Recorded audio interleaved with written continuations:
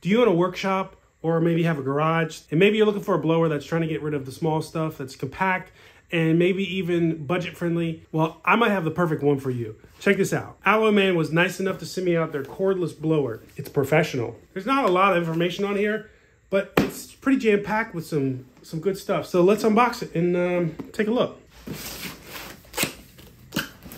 All right. So in the box, stitch it to the blower. We have a battery charger. We have the blower itself. As you can see, it's very small and compact. It's good size, decent weight.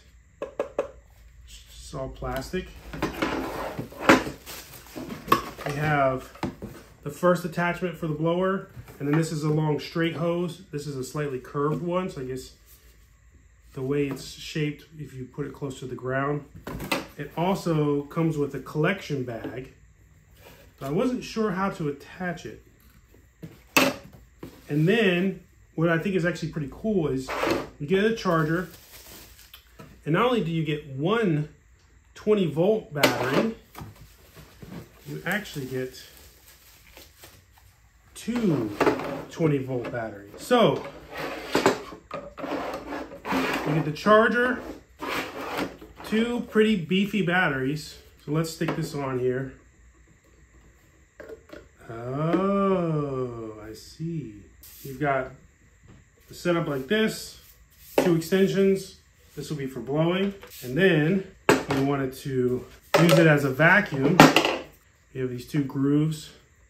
Stick it in there. Doesn't seem very secure, but I'm not sure if I'm doing it right. You do have testers here so it looks like oh, both batteries are charged, which is nice, right out of the box. And let's plug it in for the first time. We're gonna witness this together, I guess. Doesn't feel too bad. So here you go, here's the vacuum first. Seems a little awkward.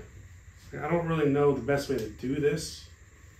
Um, it's blowing out of here. So I guess put some dust, dust collection on, like that. I have, I have a little bit of sawdust I saved. So let's see how it does with this.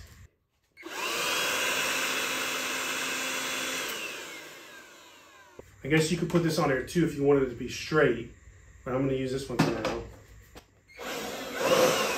Oh, so right off the bat, the blower is way stronger than the vacuum portion of this.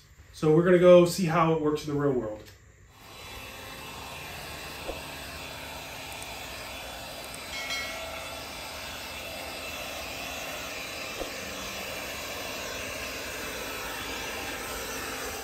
All right, so here's my quick, short, final verdict of the Alloyman blower vacuum. Um, it's honestly not that bad and it's pretty cheap.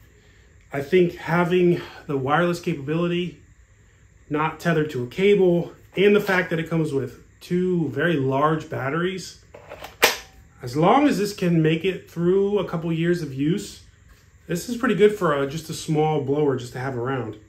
Um, I think the ideal situation for this is like a workshop. I don't think you're gonna blow or vacuum your entire yard of leaves uh, you probably would kill this thing.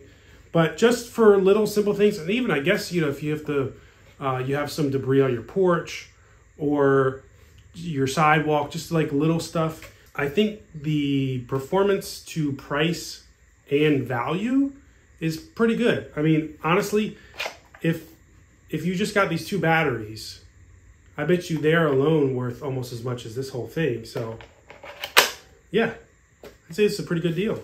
So hopefully this was helpful if you are actually looking at this. Uh, definitely leave a comment down below if there is a different scenario that you would use it in. Again, I think the best in my mind is like a small workshop or garage where you know you you get a little dirty or messy and it's just you're blowing some sawdust away or little stuff like that. So yeah, the Alloyman.